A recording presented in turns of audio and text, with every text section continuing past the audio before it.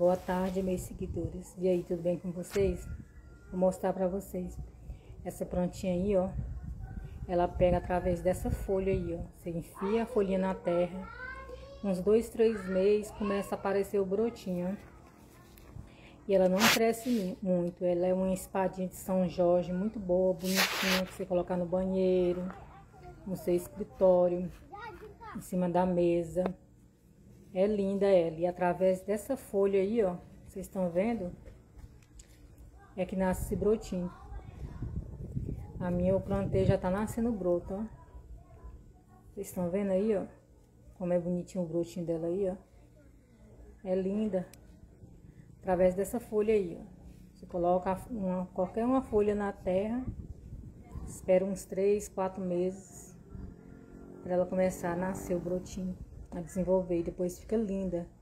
Você coloca no vasinho bem bonitinho e pode colocar no seu banheiro.